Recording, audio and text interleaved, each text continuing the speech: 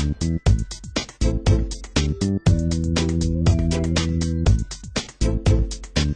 few months ago, my sister received an anonymous email. She clicked on it, and it was actually PETA.com.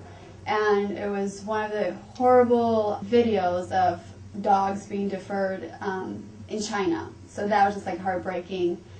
And that's why I decided I want to do PETA because it's just such a close thing to my heart and my, my dogs, and I just love animals. I, if I seen a friend or a family member or somebody close to me wearing fur, I would probably have the nerve to go up to them and tell them exactly how I feel about the whole fur um, situation, especially doing uh, the PETA campaign right now.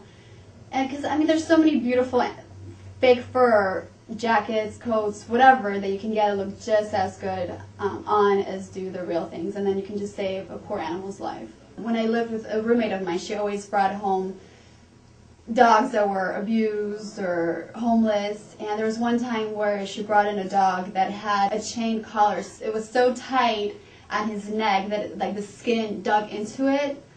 So we had to obviously had to get it removed. It was a golden retriever, so cute. It was a little puppy and we had to get it back to healthy living situation or and um, we found a home for him. What people can do to get active and seeing all the cruelty that goes on in the world, I think first of all everybody should watch um, the video on PETA.com. If somebody at least has a little bit of heart in them and emotion, I think if they see that video or any of the videos on PETA.com, I think they themselves will try to do whatever they can. If it's avoiding meat, eating meat, avoiding wearing fur, I think everybody would have their own little way of trying to um, get away from being cruel to the animals and saving some lives.